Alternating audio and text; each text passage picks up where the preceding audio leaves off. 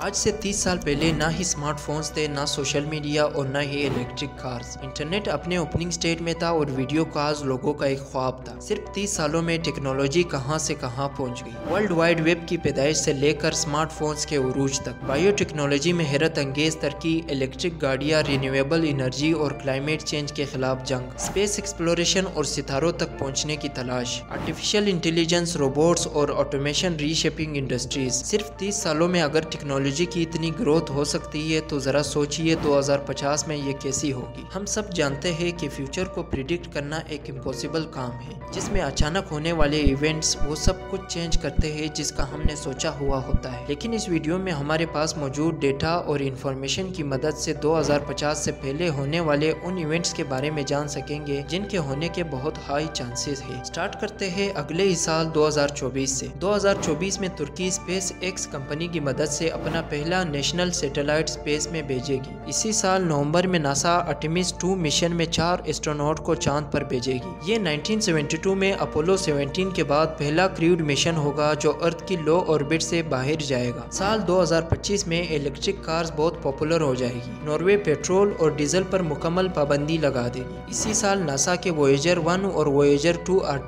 devices expire हो जाएँगे, जिसको स्पेस में भेजे हुए तकरीबन छियालीस साल हो गए हैं। ये ज़मीन से सबसे ज़्यादा दूर इंसान की बनाई हुई ऑब्जेक्ट है, जो ज़मीन से 24 अरब किलोमीटर दूर है। इससे अगले साल 2026 में सेटन के बर्फीले चाँद टाइटन को स्टडी करने के लिए एक स्पेस क्राफ्ट को लॉन्च किया जाएगा। 2028 में दुनिया की आबादी साढ़े आठ अरब से भी ऊपर चली जाएगी, जिसकी वजह से वसाइल और इंफ्रास्ट्रक्चर पर बहुत बड़ा प्रेशर पड़ेगा। साल दो में स्पेस एक सबसे पहले इंसान को मार्स पर भेजेगी और दो में साइंटिस्ट अर्थ के मेंटल तक सुराख कर जाएँगे दो में दुनिया का सबसे पहला इलेक्ट्रिक कमर्शियल एयरप्लेन आसमान पर नज़र आएगा और दो में स्विट्जरलैंड अपने सारे न्यूक्लियर प्लांट्स बंद कर देंगे। साल 2035 में इंसान ऐसी ट्रेन बनाएगा जिसकी स्पीड एयरप्लेन की स्पीड से तीन गुना ज़्यादा होगी। 2036 में नासा ज़मीन के करीबी सितारा अल्फ़ा सेंटोरी पर स्पेस क्राफ्ट भेजेगी। इस स्पेस क्राफ्ट को 20 से 30 साल लगेंगे अल्फ़ा सेंटोरी तक पहुँचने में। इस मिशन का एम स्टार सिस्टम को समझना और उसको डिटेल से स्टडी करना होगा। साल दो हज़ार सैंतीस में ऑस्ट्रेलिया और न्यूजीलैंड में एक ही साथ टोटल सोलर इक्लिप्स नज़र आएगा और 2038 में फीफा वर्ल्ड कप की ट्रॉफी को रिप्लेस किया जाएगा, जो 1974 से चलता आ रहा है। ये न्यू डिज़ाइन की ट्रॉफी 5 किलोग्राम 18 कैरेट गोल्ड की बनी होगी। 2040 में दुनिया की आबादी 9 अरब तक पहुँच जाएगी और 2042 में इंसान मार्स पर कॉलोनीज बना देगा। इसी साल कमर्शियल स्पेस ट्रेवल बहुत ईजी हो जाएगा, जिससे आम लोग स्पेस में टूर्स के लिए जाएँगे। दो